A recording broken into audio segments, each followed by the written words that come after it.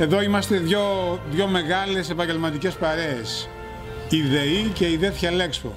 Και είναι σημαντικό για μας έναν ιστορικό συνεργάτη μας, εδώ στο σημείο αυτό, ε, αν θυμάστε, ήταν το περίπτερο της ΔΕΗ, εμείς μεγαλώσαμε ε, έχοντας στο, στο, στο κάδρο αυτό το περίπτερο και στο σημείο αυτό που θα ε, σηκώσουμε σήμερα το, το φωτισμένο σήμα της ΔΕΗ, το 1959 υψώθηκε αυτή η κολόνα που βλέπετε, η οποία είναι 30 μέτρα και ήταν το 1959 το ψηλότερο σημείο της πόλης. Δεν υπήρχε ο πύργος του ΟΤΕ.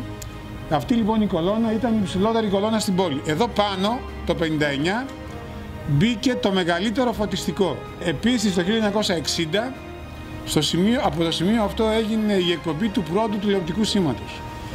Τα λέω όλα αυτά για να σας πω ότι η ΔΕΗ ήταν πάντοτε κοντά στη ΔΕΘ Λέξπο και ήταν πάντοτε συνειφασμένη με τον εξυγχρονισμό της χώρας. Από το 1951, το 50 ιδρύθηκε η ΔΕΗ, το 51 ήταν παρούσα στην έκθεση Θεσσαλονίκης και μαζί χέρι-χέρι αυτοί, αυτοί, αυτοί οι δύο σημαντικοί φορείς ε, βοήθησαν στην ανάπτυξη της χώρας μας στη μεταπολεμική περίοδο.